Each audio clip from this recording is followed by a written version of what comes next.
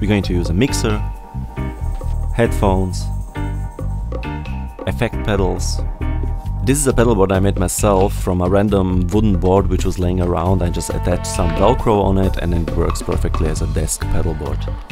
We also need an audio interface where we're going to use 6 outputs and 2 inputs. We need a computer so we can run our DAW. This is a MacBook Air um, 2020 with a M1 chip a power distributor, and the power and audio cables. Great, so now we are ready to connect everything. We start off with a basic table layout. I like to have the mixer on my right hand side and the effects on my left hand side. Now we can start connecting the cables. I'm always recommending to start off with the power cables for a very simple reason.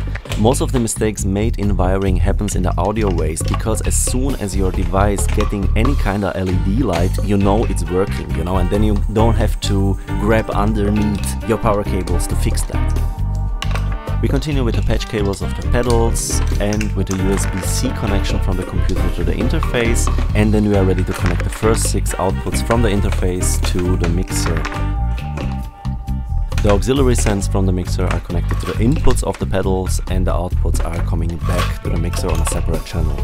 Connect the headphones to the headphones out of a mixer so we can monitor and the outputs of the mixer itself to the inputs 1 and 2 of the audio interface so we can record back what we're actually mixing.